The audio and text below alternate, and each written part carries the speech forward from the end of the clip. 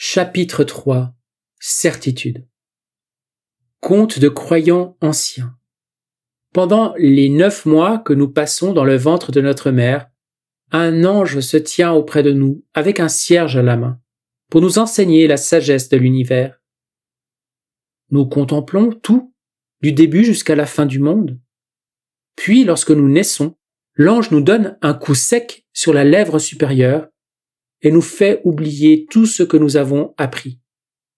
Pourtant, des traces mémorielles demeurent dans notre âme. L'idée de Dieu fait écho en nous. Et c'est sur cette résonance, sur ces souvenirs résiduels, que nous bâtissons notre conscience. Nous entrons dans le monde physique en ayant oublié qui nous sommes. Mais quelque part dans notre âme, nous nous souvenons de quelque chose. Le potentiel de retrouver notre image et notre ressemblance avec Dieu s'éveille. Ces souvenirs sont la base de ce que nous appelons la certitude. La certitude, selon le don de la divine volonté, est l'un des secrets de l'activation de notre nature originelle. La certitude non seulement que nous pouvons l'accomplir, mais que nous l'accomplirons. Cela est décrété de toute éternité. La certitude est un récipient. Selon les écrits de Louisa, pour que la lumière du soleil de midi soit révélée, il doit y avoir un récipient pour la recevoir. Le nom de ce récipient est la certitude. Et le niveau de lumière révélée dépend de la force de cette certitude. La nature, le soleil, affirme qu'il n'existe aucun moment où la lumière n'est pas. C'est seulement notre volonté, le récipient, qui limite la quantité de lumière manifestée. Lorsque nous atteignons la certitude totale, nous regagnons notre ressemblance divine. L'adversaire est l'anti-certitude. La volonté humaine est le semeur de doutes, le limiteur du récipient. Dans le paradigme de l'insignifiance de l'adversaire, nous ne regagnons pas notre ressemblance à Dieu parce que nous ne croyons pas que cela soit possible. L'Ancien Testament raconte l'histoire d'une femme de Sunam qui a pris soin d'Élisée le prophète. Celui-ci demanda un jour à la femme Tu as si bien pris soin de moi, que puis-je faire pour toi?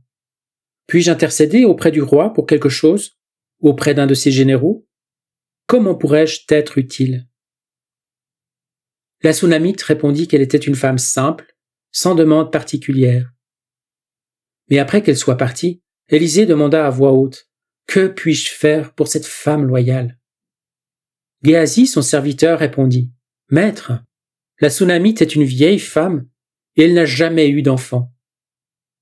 Élisée la rappela et lui dit Tu auras un fils, en précisant le jour de la naissance du garçon. Stupéfaite, la Sunamite répondit Ne te moque pas de moi. Mais Élisée la rassura calmement en lui disant que tout se passerait exactement comme annoncé. Et c'est ce qui se passa.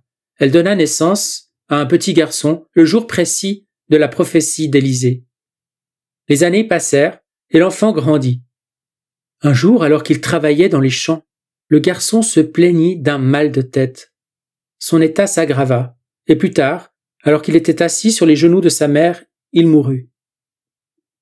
La Sunamite porta le garçon jusqu'au lit où Élisée avait coutume de dormir quand il venait et le déposa dessus.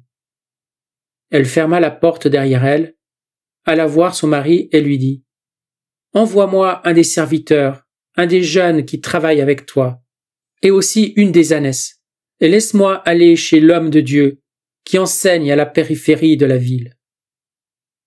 Le mari s'enquit de la raison pour laquelle elle allait chez le prophète, puisque ce n'était ni le premier du mois, ni le sabbat. Mais la Sunamite répondit simplement La paix soit avec toi, au revoir. Elle chevaucha jusqu'au mont Carmel où Élisée enseignait, et lorsque le prophète la vit, il demanda à Géasi de s'enquérir de sa famille. La Sunamite dit au serviteur que tout allait bien. Cependant, Lorsqu'elle arriva à l'endroit où se tenait Élisée, elle serra ses mains autour de ses jambes. Géasi s'approcha pour la repousser, mais le prophète dit Laisse-la, elle souffre beaucoup. Dieu ne m'a pas laissé savoir cela, il ne m'a pas laissé voir, et il ne me l'a pas dit. À travers ses larmes, la femme s'écria Ai-je demandé un fils à Dieu? Je ne l'ai pas demandé. Je t'ai supplié de ne pas te moquer de moi. Quel genre de faveur était-ce de me donner un fils s'il devait mourir à un si jeune âge? Élisée dit à Géasi de mettre un manteau, de prendre le bâton d'Élisée et d'aller le placer sur le visage de l'enfant. Il lui dit encore Si tu croises quelqu'un, ne parle pas de cela, et si quelqu'un te salue, ne lui réponds pas. La femme resta près de Géasi alors qu'il se dirigeait vers l'enfant, jurant qu'elle ne le quitterait pas tant qu'il n'aurait pas ranimé son fils. Cependant, malgré l'avertissement d'Élysée et les protestations de la Sunamite, Géasi parla de sa mission à plusieurs connaissances dont il fit la rencontre. Lorsqu'ils atteignirent l'enfant, il posa le bâton sur le visage du garçon comme l'avait demandé Élisée, mais rien ne se passa.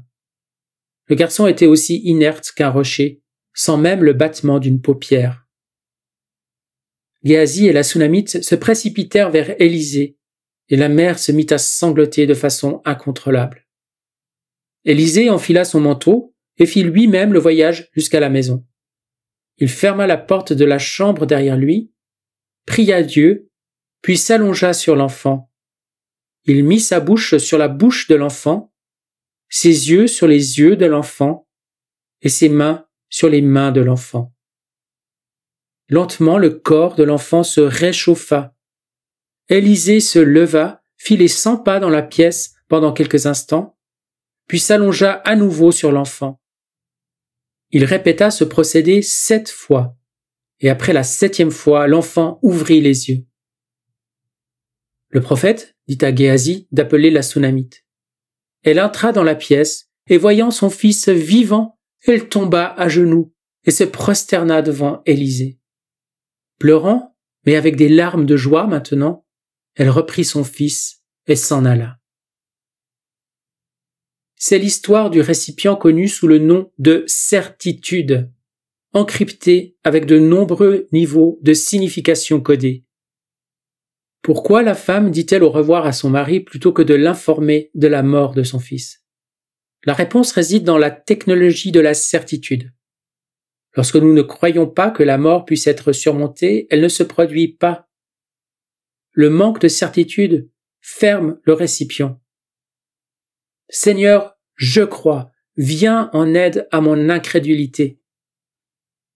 La Sunamite ne s'est pas confiée à son mari car elle savait que le niveau de certitude de celui-ci ne contenait pas le retour de leur fils d'entre les morts. Si elle l'avait dit à son mari, le prophète n'aurait pas pu accomplir le miracle. Le père aurait certainement prié pour la résurrection de son fils. Il aurait aimé croire en sa possibilité. Mais vouloir croire n'est pas synonyme de certitude. Les bonnes intentions limitent toujours le récipient. Tel est le pouvoir insidieux du doute. Beaucoup considèrent la Bible comme la parole de Dieu, mais refusent de croire à la possibilité de la résurrection, même si elle est déclarée dans les pages de la Bible.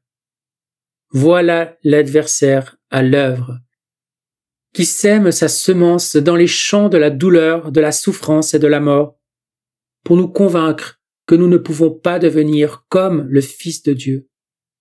Car l'adversaire connaît le pouvoir de la certitude éveillée, la connaissance ultime de qui nous sommes et de ce que nous pouvons devenir. Jésus. Avec la certitude comme fondement, nous pouvons aborder ce qui vient maintenant un ensemble extraordinaire de déclarations qui vont changer nos vies à jamais. Armez-vous de connaissances certaines.